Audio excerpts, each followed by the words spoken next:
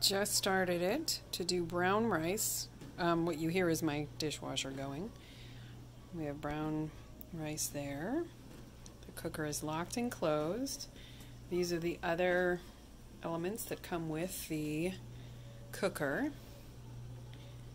And so now it's just going to cook.